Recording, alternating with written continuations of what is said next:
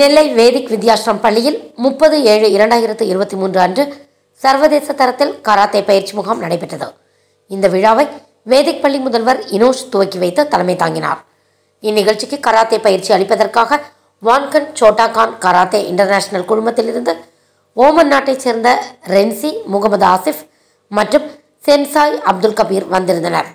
திருநெல்வேலி தூத்துக்குடி கன்னியாகுமரி தென்காசி ஆகிய மாவட்டங்களிலிருந்து முப்பது பள்ளிகளிலிருந்து நூறுக்கும் மேற்பட்ட மாணவ மாணவிகள் பங்கு பெற்று பயனடைந்தனர். இந்நிகழ்ச்சியில் தற்காப்பு கலையின் அடிப்படைகளையும் அதன் நுணுக்கங்களையும் பயிற்சி அளித்தார்கள். நிகழ்ச்சியின் முடிவில் வேதிக் பள்ளியின் முதல்வர் இனோஷ் மாணவ மாணவிகளை ஊக்குவிக்கும் விதமாக இக்காலத்தில் தற்காப்பு கலையின் முக்கியத்துவத்தை எடுத்துரைத்து மாணவர்களுக்கு சான்றிதழும் நினைவு பரிசும் வழங்கினார். நிகழ்ச்சியை வேதிக் வித்யாசிரம் பள்ளியின் கராத்தே பயிற்சியாளர் சென்சாய் சிவகிருஷ்ணா மற்றும் வேதிக் பள்ளியின் உடல் கல்வித்துறை மிகச் சிறப்பாக ஒருங்கிணைத்திருந்தது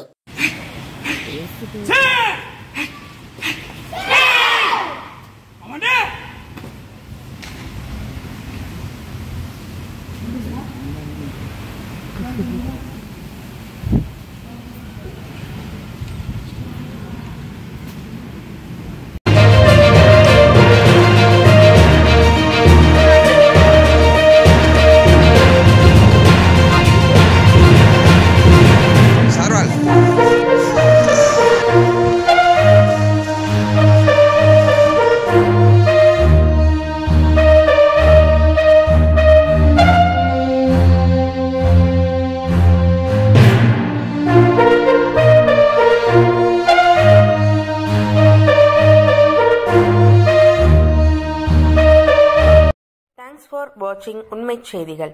நெல்லை செய்திகளை உடனுக்குடன் தெரிந்து கொள்ள சேனலை சப்ஸ்கிரைப் பண்ணுங்க லைக் பண்ணுங்க ஷேர் பண்ணுங்க.